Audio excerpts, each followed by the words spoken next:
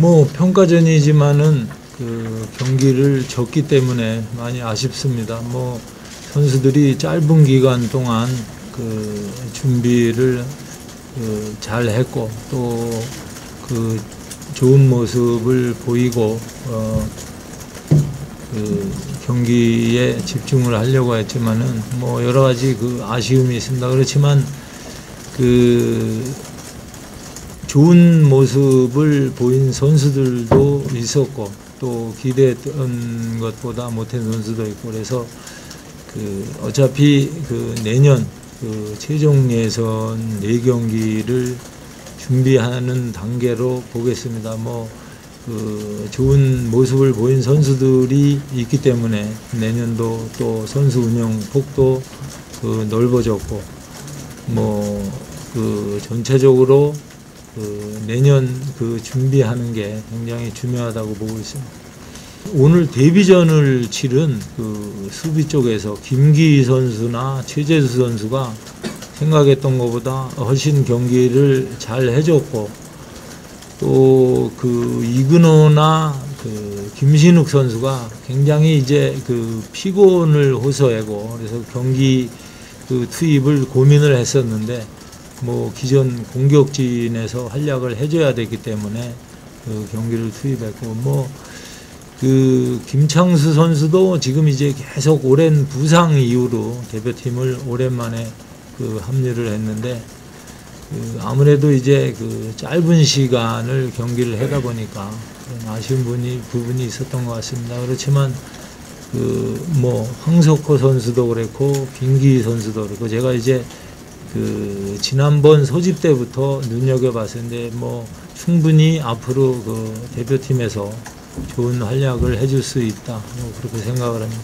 그 뭐 이동국 선수가 그 활약을 잘했다 못했다보다는 오늘 뭐 전체적으로 그 경기가 그 공격 그 전개 장면이나 찬스를 만드는 과정이 안 좋았기 때문에 또 그 전반전 같은 경우에는 그 황진성, 하대성 선수를 전진시켰습니다. 그래서 그 고립되는 거를 좀 보절을 했는데 그 우리가 생각했던 것 같이 공격적으로 어, 잘 안 됐던 것 같습니다. 그 계속 소집됐던 이제 이승기 선수가 90분을 소화를 했고 그 이근호 김영범 선수가 이제 사이드 쪽을 그 책임지기로 했는데 이근호 선수는 그 또 그 타박상을 입고 일찍 나오게 됐고 뭐 그 두 선수는 평가이기는 그리고 이승기 선수는 뭐 그동안 그 경기를 못 나갔지만은 오늘 90분을 뭐 기대 이상으로 잘 했다고 보고 있습니다. 그 좋은 능력을 그 가지고 있지만은 이제 경기를 많이 못 나갔기 때문에 그 걱정을 많이 했는데 생각보다 오늘 경기를 잘 했던 것 같습니다. 저는 뭐 그 만약에 오늘 경기를 그 총력을 기울인다면 뭐 무리를 해서 소집을 했었을 겁니다. 뭐 당초 그 제가 말씀드린 대로 그 오늘은 그 선수 평가하는데 또 그 내년 최종 예선을 대비해서 그 경쟁력을 갖출 수 있는 선수들을 선발한다고 생각을 했기 때문에 또 그 최종 예선은 분명히 다르게 준비를 하고 또 우리가 그 다르게 경기를 할 것이기 때문에 그 부담이나 큰 걱정은 안 하고 있습니다. 이제 단지 그, 그 시기에 또 2월 달에 지금 이제 그 평가전 준비를 했는데 우리가 어떻게 준비를 하고 또 그 3월 26일 그 카타르전 홈 경기가 지금 굉장히 중요해졌기 때문에 그 경기에 모든 초점을 맞추고 또 그 시기에 맞게 그 유럽에서 활약하는 선수들이 그 몸 상태나 좋은 활약을 해주기를 바라야 될 것 같습니다.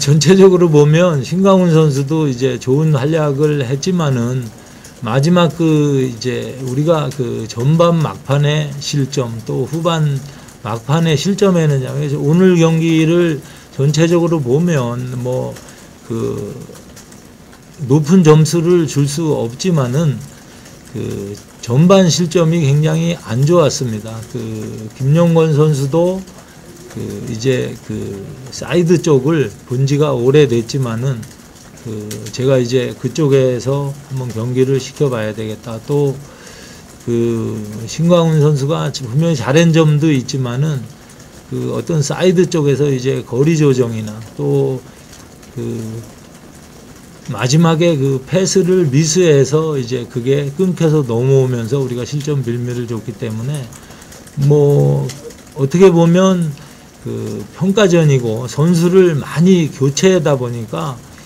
그 집중력이 많이 떨어질 수밖에 없습니다. 뭐 제가 선수들한테 그런 거를 사전에 이제 그 요구를 했고 후반전은 어떻게 나갈 것이다 뭐 그런 주문을 했지만은 그 그런 이제 어려움이 있다고 봅니다. 그렇지만 그 분명히 좋은 활약을 해준 선수 또 제가 이제 당초 생각했던 것보다 기대 이상의 그 좋은 모습을 보였기 때문에 이제 그런 선수들하고 내년도 그 조합을 찾을 수 있기 때문에 저는 뭐 경기를 져서 아쉽지만은 긍정적인 모습도 분명히 있다고 봅니다.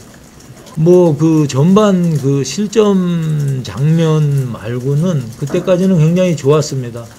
그 이제 사이드 쪽에서 그 거리 조정이나 상대를 압박하는 장면 때문에 실점을 했는데 뭐 그런 부분은 우리가 이제 최종 예선 때 충분히 그, 그 좋은 장면으로 만들 수 있기 때문에 큰 걱정은 안 합니다. 이제 뭐 그 베테랑 선수들하고 그 젊은 선수들하고 조합을 잘 해야 될 것 같습니다. 그거는 그 제가 그 대책을 세울 수가 없고 뭐 동계 훈련을 한다든지 선수들을 소집을 할 수 없기 때문에 그 전혀 뭐 그 제가 움직일 수 없고 단지 이제 주어진 환경에서 그 최종 예선을 준비를 해야 되고 뭐 그 2월 그 아직 그 확정은 안 됐지만은 아, 평가전이 결정을 이 되면 이제 그때 그 3월 경기에 대비해서 마지막 점검을 해야 되고 뭐 올해 이제 그 좋은 경기도 했고 그 실패한 경기도 있기 때문에 분명히 제가 이제 어떤 그 조합을 찾아서 그 나머지 네 경기를 준비를 잘 해야 될 것 같습니다. 지금 뭐 저는 그 3월 26일 그 카타르전이 그 어떻게 보면 그 굉장히 그 중요한 경기가 됐기 때문에 그 경기에 초점을 맞춰야 될 것 같습니다. 어떻게 보면 그 쿠웨이트 전부터 어, 오늘 경기까지 예, 뭐 저도 개인적으로 많은 거를 어, 느낀 한 해가 됐습니다. 뭐 이제 그 초반 그 출발이 좋았지만은 그 최종 예선 마지막 원정 두 경기가 그 결과가 안 좋게 나타났기 때문에 그 내년 네 경기가 여유가 많이 없어졌습니다. 그렇지만 그 저는 뭐 절대적으로 그 긍정적으로 생각을 하고 있고 그 아까 말씀드린 대로 그 3월 첫 경기를 우리가 그 스타트를 잘 끊으면 어 나머지 경기도 우리가 잘 할 수 있기 때문에 뭐 지금부터 그 준비를 잘 하는 거또그 첫 경기에 초점을 맞춰서 그 잘 준비를 해야 될 것 같습니다.